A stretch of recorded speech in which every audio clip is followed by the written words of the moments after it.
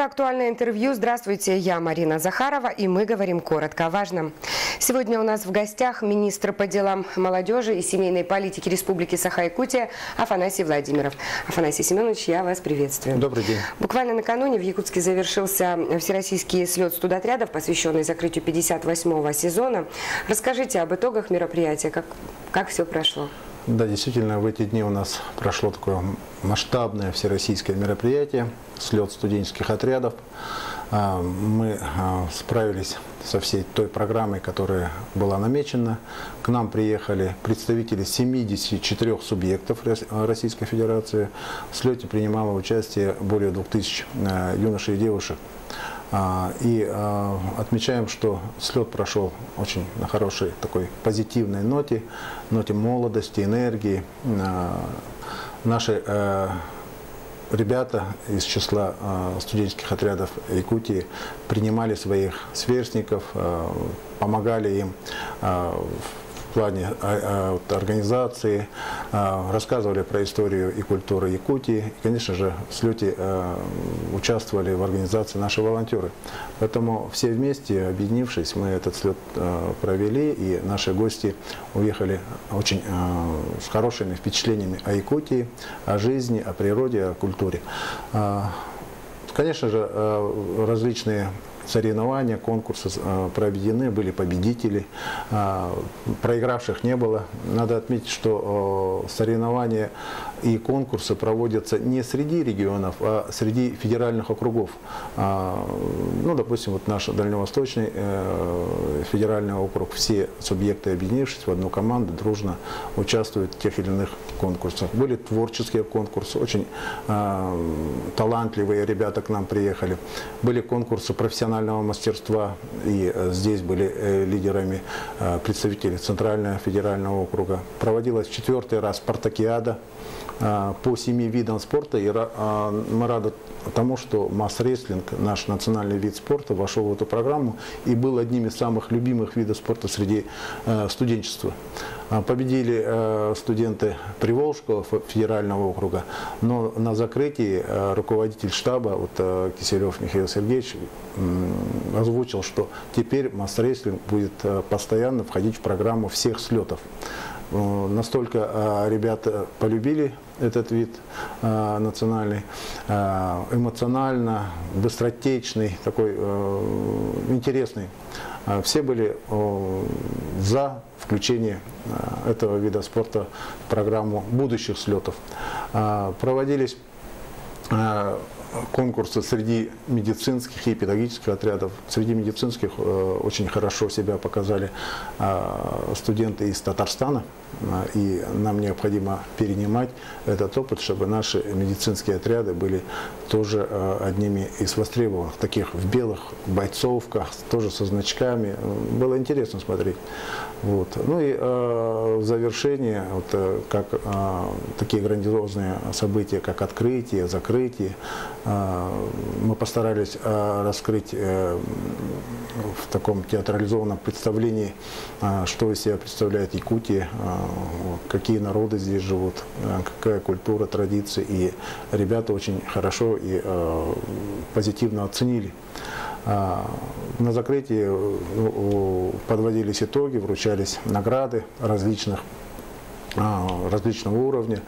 И э, наши ребята, вот, э, активисты, это э, руководитель штаба Николай Тарасов и руководитель правления студенческих отрядов Гаврил Семенов, передали эстафету, э, это знамя э, Ростовской области. В следующем году слет состоится в Ростовской области. Я со своим коллегой, руководителем э, управления по делам молодежи тоже встречался, она приехала, чтобы перенять опыт.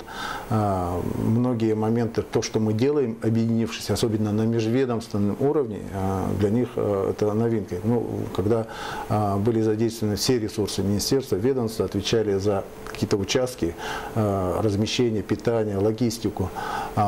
И кроме этого еще многие наши министерства, предприятия были шефами субъектов. И э, вот э, э, делегаты слета, приехавшие, благодарят своих шефов, вот, сотрудников министерств, предприятий за их вот, радужный прием.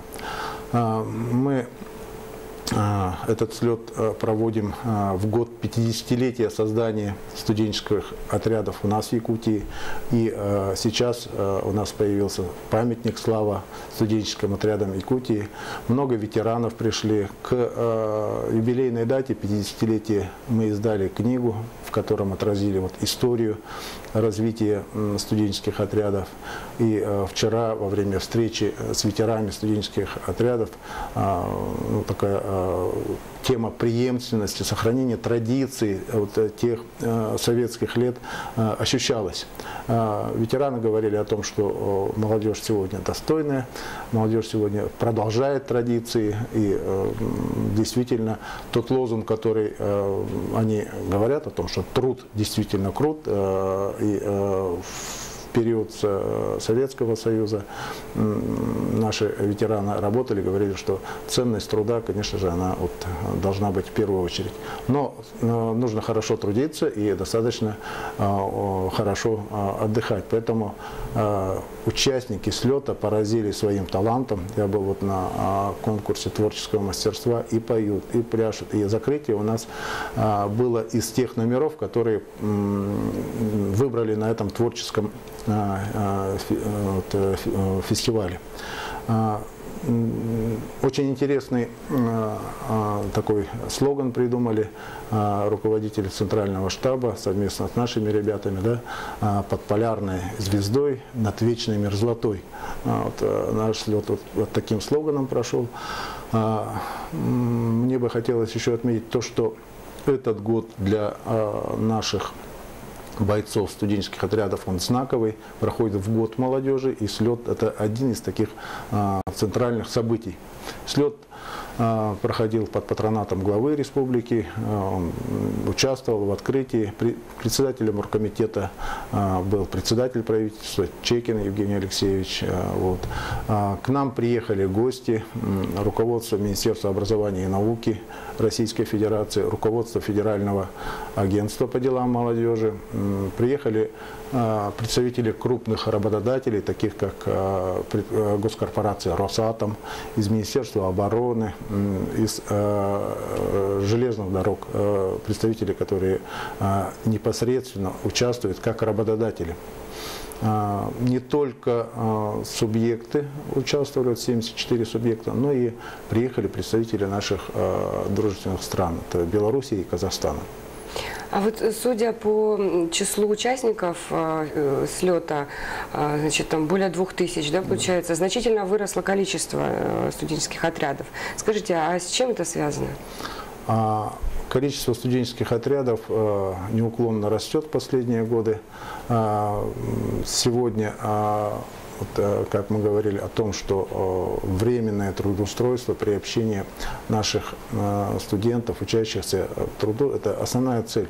И мы рады, что наши муниципальные образования сегодня подключались, подключаются не менее 50 муниципальных образований ежегодно принимают бойцов студенческих отрядов. Не только э, за счет э, каких-то отчислений, субсидий из республиканского бюджета, но и сами организуют. Предприятия крупные тоже принимают на себя ответственность, чтобы на их объектах, на их участках работали студенческие отряды. Очень много направлений. И если мы говорим о том, что в прошлом году был охват у нас 4,5 тысяч, то сейчас у нас более 8 тысяч э, студентов летом участвовало. Скажите, какая средняя зарплата у бойцов студотрядов? А, в целом заработная плата а, разная, но средний э, студент э, за один месяц получал 25 тысяч. А, ну, неплохо для наших учащихся. Но тем не менее есть такие студенты, которые все лето работали. Допустим, мы э, ориентируем на то, чтобы одну э, смену работали, а есть студенты, которые работали э, три смены, четыре смены. Mm вот. У нас есть э, всегда ежегодно мы направляем э, студентов на всероссийские стройки студенческие. И в этом году у нас как никогда география расширилась. Наши студенты работали на строительстве космодрома Восточный в Амурской области. В Челябинской области участвовали в строительстве атомной электростанции. В Ленске участвовали на строительстве объектов от Чендинского нефтегазового конденсатного месторождения. А будут ли создаваться у нас новые направления, например, в сельском хозяйстве? А, у нас в сельском хозяйстве есть. есть. Да, в целом у нас более 10 направлений. Угу. Строительные, сельскохозяйственные, педагогические отряды, медицинские отряды. А, а по сельскому хозяйству мы в основном а, а, формируем отряды, которые помогают э, в уборочной кампании. В этом году у нас 300 бойцов работало на территории Алепкинского района. А, а, у нас формируются отряды, которые работают совместно э, с администрациями при участии э, сельскохозяйственных предприятий на заготовке сена, на строительство изгороди. Вот, поэтому о, такие направления есть. Вот слет э, состоялся, к нам приехали, но мы тоже извлекли уроки. И вот вчера, допустим, мы э, общались с руководством Министерства спорта, э, и идея такая возникла, чтобы был отряд из числа тех э, студентов, которые работают, которые учатся в Институте физкультуры, для того, чтобы они в летний период работали на площадках, спортивных площадках. Вот. Я думаю, что вот слет многие идеи тоже сегодня нам подсказал. А, я сказал о том, что вот э, к нам приехали представители Казахстана и Белоруссии. А, между э, Центральным штабом России и ими подписано соглашение о сотрудничестве. Я думаю, что мы можем подключиться вот, к реализации таких проектов, совместное обучение наших командиров, комиссаров.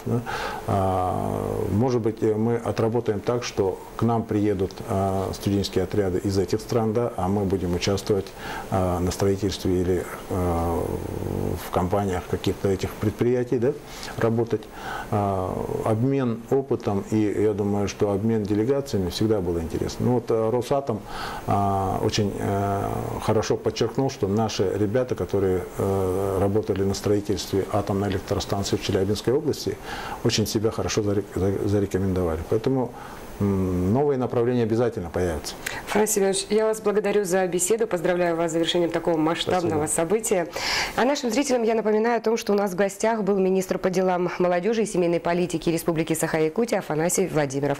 Будьте с нами в курсе событий. Всего доброго.